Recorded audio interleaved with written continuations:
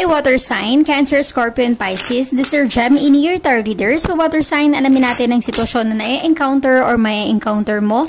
Just a reminder, this is general reading. So, this may or may not resonate with you. So, don't take it personally. This is just a guide. This is also a timeless reading. So, kung mapanood mo ito sa ibang panahon at ibang pagkakataon, possible na nakatadhanang mapanood mo ang reading na ito.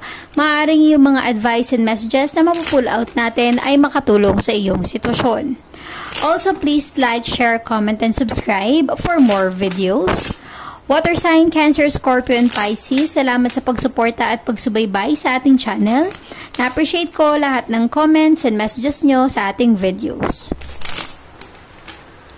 Water sign, Cancer, Scorpio, and Pisces, give me your energy. Water sign.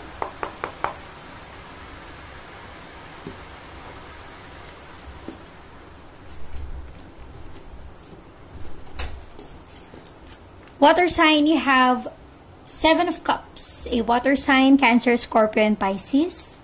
Ten of Wands, a fire sign, Aries, Leo, Sagittarius. And Three of Cups, a water sign. In your energy right now, you're trying to overcome yung mga pinagdadaanan mo sa buhay mo ngayon. Pilit mong kinakaya na makasurvive, na makarecover, sa problema na pinagdadaanan mo. In your past energy, you have Seven of Cups. Maaaring marami kang pangarap sa buhay na hindi mo nakamit. Na hindi ka nagtagumpay na magkatotoo or magawa yung nais mo. Huwag kang mawala ng pag-asa. Never give up, never lose hope. Hindi porkit hindi natin nakuha yung gusto natin eh parang wala na. Wala na tayong pwedeng gawin. You can do so many things para marating mo yung mga pangarap mo.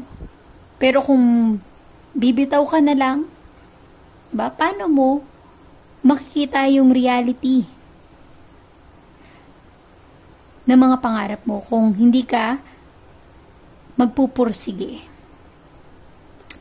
In the near future, you have three of cups. This is a celebration.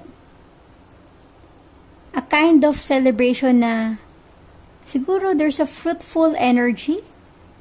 Maaring tinatamasa or matatamasa mo yung mga kasaganaan sa buhay, fulfillment sa pangarap mo. Kaya huwag ka mag- mawala ng pag-asa. Kasi someday, marirealize mo na lang na nagtagumpay ka sa buhay. Let us see your energy, water sign, Cancer, Scorpion, Pisces. Let us see the Seven of Cups in your energy. You have the Five of Swords, an air sign, Gemini, Libra, and Aquarius, and Queen of Cups, a water sign, Cancer, Scorpion, Pisces. Water sign, may mga challenges kang pinagdadaanan, struggle. May mga hindi sang-ayon sa mga plano mo, sa mga ginagawa mo sa buhay mo, pero tinuloy mo pa rin kasi at the end of the day, buhay mo yan eh. Ikaw pa rin yung may say sa mga pwede mong gawin sa buhay mo. Siguro hindi nila nakikita na kaya mo to ginagawa is para sa kanila. Maaring yung pamilya mo, parang hindi sang-ayon sa mga desisyon mo hindi nila alam na ginagawa mo ang lahat. You're doing your very best para magtagumpay ka sa buhay mo. Pero at some point, dahil sa hindi sila nagtitiwala sa iyo, nagkakaroon pa kayo ng argument, wala silang bilib sa iyo, parang nawawalan ka ng lakas ng loob. Parang ang laki ng impact ng mga com- comment nila sa iyo, opinion nila about sa iyo. Minsan parang feeling mo, ang hirap marating ng pangarap mo kasi kahit yung pamilya mo parang wala silang tiwala sa kakayahan mo. May kalungkutan sa puso mo kaya nahihirapan ka. Kung hindi man ito pamilya mo, kamag-anak mo, malaking impact nila sa iyo eh. Kumbaga kung ano yung sasabihin nila, iniisip mo, dinadamdam mo hayaan mo kung ano man ang sabihin nila. Ang importante sa buhay mo ngayon is makamit mo yung nais mo sa mabuting paraan. Makasurvive ka sa buhay mo nang walang tinatapakan. Yun ang pinaka-importante. Kasi buhay mo yan. Let us see the Ten of Wands in your energy. Water sign, Cancer, Scorpio, and Pisces. You have karma. This is a justice. A strong Libra and Knight of Swords and air sign, Gemini, Libra, and Aquarius. Diba? Go on with your life. Kailangan mong magtagumpay sa hamon ng buhay. Lagi mong isipin, justice will be served. Kung hindi mo deserve yung kahirapan sa buhay, ibig sabihin, makakaahon ka. Kung deserve mo na magkaroon ng masaganang buhay, makakamit mo yon someday. Huwag mo na masyadong isipin kung ano yung mga sasabihin ng ibang tao sa paligid mo. Mag-focus ka sa sarili mo Maging determinado ka na makamit yung mga pangarap mo, maabot mo yung mga nais mong marating sa buhay mo. Because justice will be served. Diba? Hindi pang habang buhay na makakaranas ka ng kalugmukan. Just take action. Knight of Swords. Do something. Para mabago yung takbo ng buhay mo. May kailangan kang gawin. Hindi pwedeng lagi ka na lang nakatunganga na parang wala ng pag-asa kasi nga, yun ang sinasabi ng ibang taong nakapaligid sa iyo. Huwag kang maniwala sa sinasabi nila, magtiwala ka sa sarili mong kakayahan. Let us see the Three of Cups in your energy, water sign, Cancer, Scorpio, and Pisces. You have the High Priestess and the Fool. So I'm sensing here this is a celebration, maaaring A long-term commitment with someone. Someone na malaki yung tiwala sa kakayahan mo. Someone na susuporta sa iyo. Maaring ito rin ay patungkol sa iyong business or career, business partner, maaring magkakaroon ng magandang energy ang pinupurso mo na career or business. Just take a leap of faith.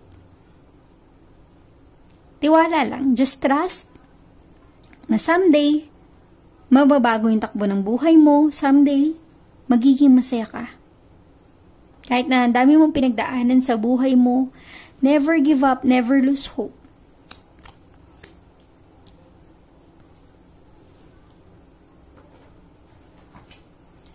Let us see, Angel Guide, give me some message for water sign, Cancer, Scorpio, and Pisces.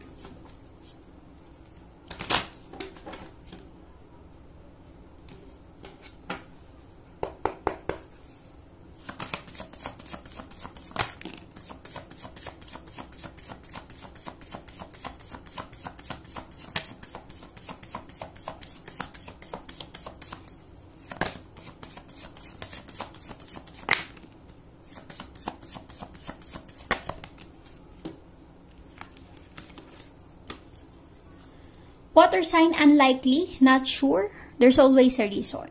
Kung hindi ka sigurado, ask your angels for some guidance, meditate and contemplate. It's a positive yes for you. Huwag ka mawala ng pag-asa. There's still hope within the next few months. Mamanalig ka sa mga pangarap mo sa buhay. Kung alam mo na may mararating ka, claim it. Claim your right. Let us see Oracle Guide. Give me some message for water sign, Cancer, Scorpio, and Pisces.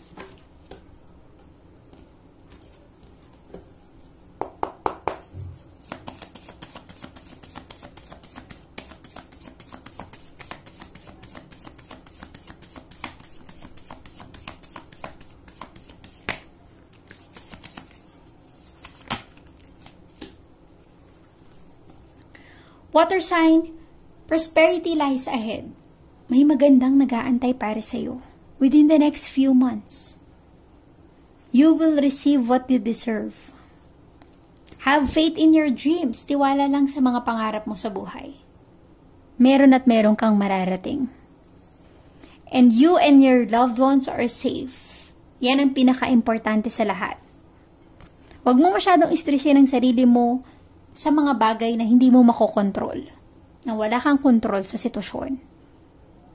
Just do your very best para makamit mo yung nais mo sa buhay. Magtagumpay ka sa buhay mo. Even though ang dami mong problemang pinagdadaanan, lagi mong isipin na kailangan mong makasurvive. So thank you, Water Sign, Cancer, Scorpion, Pisces. Please like, share, comment, and subscribe for more videos. Thank you, Water Sign. thank you.